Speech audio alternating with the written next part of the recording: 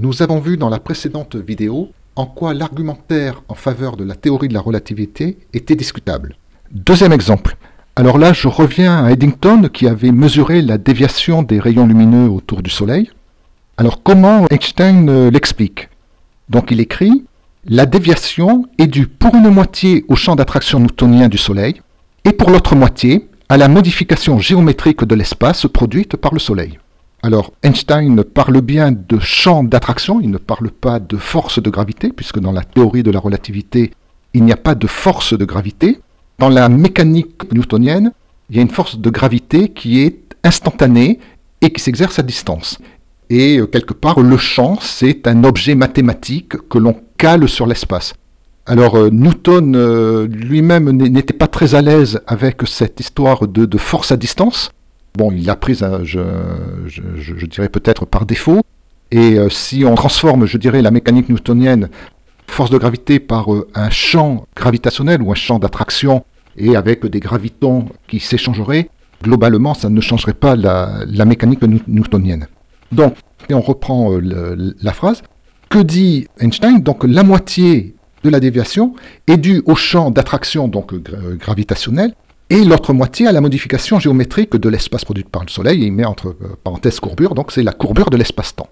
Et alors là, j'avoue que je ne comprends pas, parce qu'on a tous vu, pour illustrer la théorie de la relativité, un quadrillage, donc qui représente euh, l'espace-temps ramené à, deux dimensions, où est posée une sphère, donc euh, qui peut représenter le Soleil, et où les rayons sont déviés par déformation de cet espace-temps et il n'est fait dans les articles de vulgarisation aucune référence au champ d'attraction newtonien du Soleil.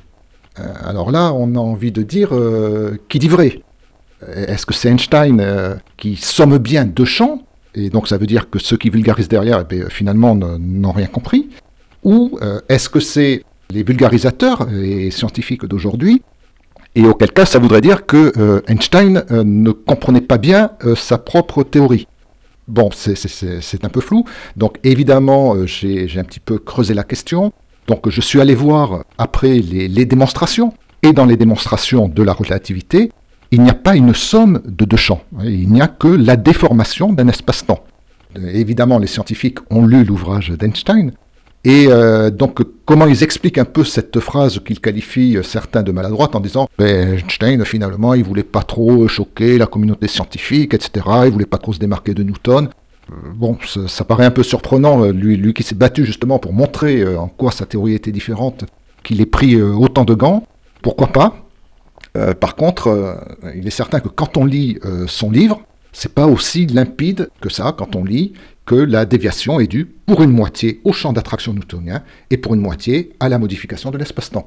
Donc ce champ d'attraction newtonien différent de la courbure de l'espace-temps apparaît être une invention d'Einstein, ça ne fait pas sérieux et surtout cela entache la crédibilité des autres arguments de son livre. Le prochain exemple traite du fameux exemple du cheminement des rayons lumineux le long d'un train.